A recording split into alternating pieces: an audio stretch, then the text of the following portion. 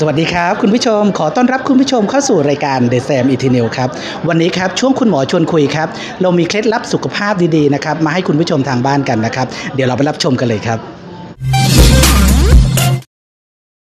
สามัญทั่วไปแล้วร้านขายยาร้านสะดวกซื้อนะครับ เด็กก็ใช้ได้ผู้ใหญ่ก็ใช้ได้นะครับแต่อาจจะแค่ระวังในแง่เรื่อง อย่างที่ผมบอกเรื่องท้องเสีย อันนี้แล้วแต่เขาระวังนะไม่ได้เป็นข้อห้าม เพราะว่าหลายคนกินก็ไม่ได้มีปัญหาอะไร ถ้ากินเลยมันก็จะเปรี้ยวนะ แต่ว่าพอเรามาทำในรูปแบบของคัฟไซรัปเนี่ยเราก็จะปรับ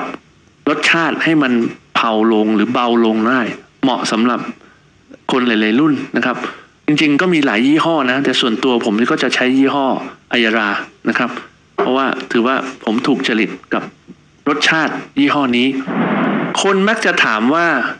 ยามาแว้งมาขามป้อมเนี่ย มีกลไกการออกฤทธิ์อะไร ชอบถามผมมาก ว่ามีกลไกการออกฤทธิ์ชัดเจนหรือไม่ นะ ผมก็จะตอบว่า มันเป็นยาสมุนไพรไทยนะกลไกการออกฤทธิ์เนี่ยบังเอิญน่าเสียดาย เราไม่ได้มีคนระดมทุนมากเหมือนกับยาฝรั่งอะนะเราก็อาจจะไม่รู้ลึกซึ้งทุกอย่างทุกเม็ด แต่เราก็อาศัยประสบการณ์ที่เขาใช้กันมานะครับ แล้วก็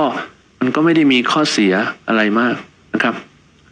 ผมก็จะถามกลับนะ เอาง่าย ๆเลยครับ แล้วยาละลายเสมหะ ที่คุณใช้กันอยู่ปัจจุบันนะคุณเคยเช็คบ้างไหมว่า กลไกการออกฤทธิ์เป๊ะเลยมีไหม ไม่มีครับ ของต่างประเทศเองก็ยังไม่ได้มีกลไกการออกฤทธิ์ชัดเจนที่เขาออกมาพูดได้ คุณสามารถเข้าไปดูได้ครับ go drugbank com คุณก็เสิร์ชไปเลยครับ ยาแก้ไอหรือละลายเสมหะที่คุณมีเนี่ย อย่างเช่นเสิร์ชไปเลยฮะ m b r o x a l carbocysteine อย่างเงี้ย แล้วลองไปอ่านกลไกการออกฤทธิ์เขาก็จะเขียนประมาณนี้เลยครับว่าสันนิษฐานว่ากลไกออกฤทธิ์น่าจะเป็นหนึ่งสองสามเห็นไหมครับ เห็นไหมครับดังนั้น ผมก็จะบอกว่า ถ้าคุณกินแล้วมันช่วยอาการคุณได้ ก็น่าจะตอบโจทย์ครับงั้นในชีวิตจริงบางทียังไม่มีใครหากลไกให้เราได้